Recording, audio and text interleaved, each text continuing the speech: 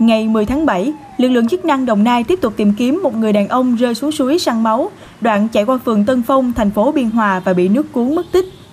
Thông tin ban đầu, khoảng 15 giờ 30 phút cùng ngày, sau trận mưa lớn, người dân phát hiện một người đàn ông rơi xuống suối săn máu. Thấy vậy, hai người dân gần đó đã lao xuống dòng nước cứu nạn nhân. Tuy nhiên, thời điểm này, nước từ đầu nguồn đổ về mạnh, nước chảy xiết nên đã không cứu kịp, nạn nhân bị dòng nước cuốn ra hạ nguồn.